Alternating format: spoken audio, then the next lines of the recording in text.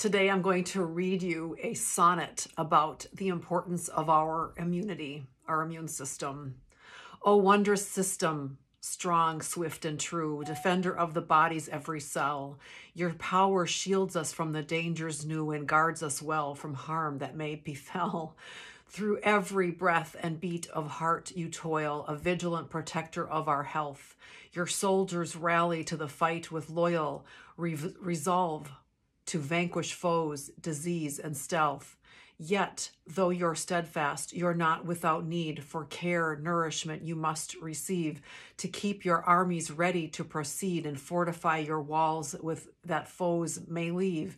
So let us honor you with every choice and strengthen you with exercise and voice. If you need help keeping health, your cells healthy, raise your hand, tap me on the shoulder. I'm ready to help you.